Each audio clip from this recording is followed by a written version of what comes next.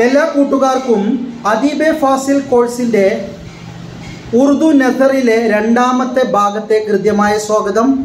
ഇന്ന് നമ്മൾ പഠിക്കുന്നത് സർ സയ്യിദ് അഹമ്മദ് ഖാൻ എഴുതിയ ഗുസറ ഹുവ ജമാന കഴിഞ്ഞുപോയ കാലം എന്ന കഥയാണ്. ബുഡ അപ്പിനെ അന്ധേരെ ഗർമേ അക്കേലാഹെ വൃദ്ധൻ തന്റെ ഇരുൾ നിറഞ്ഞ വീട്ടിൽ ഒറ്റക്കാണ് ബിജിലി കിടുക്തി ഹേ മിന്നൽ തെളിയുന്നുണ്ട് മാനത്ത്. ആന്തി സോർ സെ ചൽത്തി ഹേ കൊടുങ്കാറ്റ് ശക്തമായി അടിച്ചു വീശുന്നു. ഗംഗീൻ ഹേ ആ വൃദ്ധൻ ദുഃഖിതനാണ്. ഉസ്കാ ഗം അദ്ദേഹത്തിന്റെ ദുഃഖം.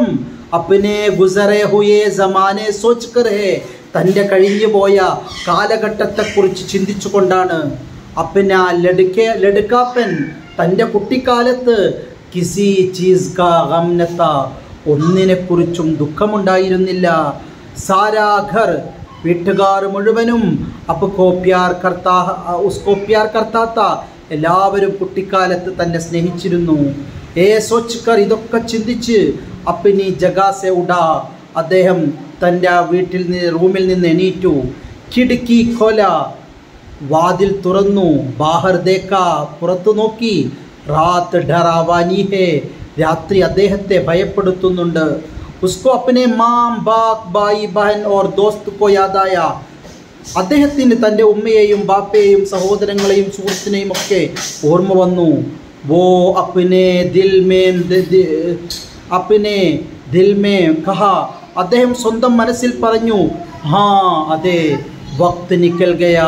സമയം പോയിരിക്കുന്നു. സമയം എവിടെയോ പോയി മറഞ്ഞിരിക്കുന്നു. വോ അപ്പിനി അച്ചായോ ഓർ ബുരായോ കൊതേ യാതായ താൻ ചെയ്ത തിന്മകൾ ഓർമ്മ വന്നു നന്മകളും ഓർമ്മ വന്നു. ഉസ്കി റോസ നമാസ് ഹജ് ഉസ്കോ തസല്ലി ദിയ താൻ ചെയ്ത നിസ്കാരവും നോമ്പും ഒക്കെ തനിക്ക് സാന്ത്വനം പകർന്നു. പിറബി പിന്നെയും വഹു ബാഹർ ദേക്ക. അദ്ദേഹം പുറത്തേക്ക് നോക്കുന്നു.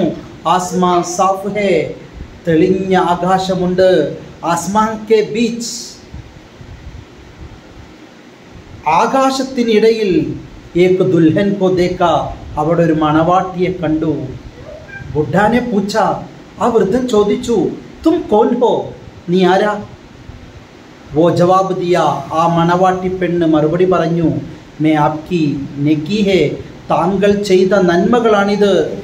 ഏ കഹക്കർ വായി ഹോ അങ്ങനെ ആ മണവാട്ടി മറഞ്ഞുപോയി. വോ ലടുക്ക നീന്ത് സേവുട. അപ്പോഴാണ് ആ ചെറുപ്പക്കാരൻ ആ കുട്ടി തന്റെ ഉറക്കിൽ നിന്ന് എണീറ്റത്. ഓർ സംജ അവന് മനസ്സിലായി പുനോനെ ഹാബ്ദേക്ക ഞാൻ കണ്ടതൊക്കെ സ്വപ്നമായിരുന്നു എന്ന്